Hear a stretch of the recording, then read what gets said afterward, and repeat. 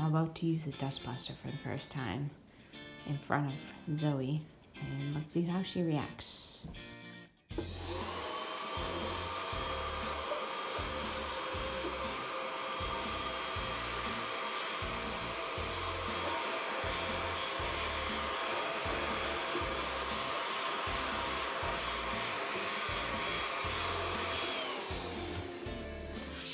This is my uh, dog drawer that clean out. Look at all those extra collars and leashes. She's not really reacting, which is great. Let's see how she feels when I get a little bit closer with the dustbuster.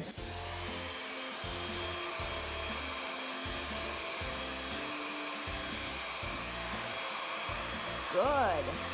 Yes, good.